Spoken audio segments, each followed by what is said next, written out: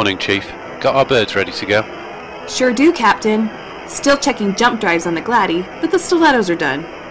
Great. How are we doing with armament? I know we weren't prepped for this kind of action. Well, not so good. Enough javelins for about 10 sorties and 12 torps. Gonna be tight, sir. Well, and, um... I know, Jean.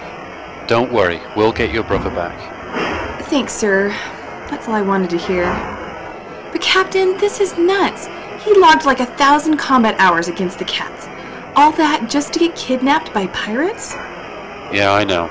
This truce is... Never mind. Chief, get those stilettos spotted for launch. Will do, sir.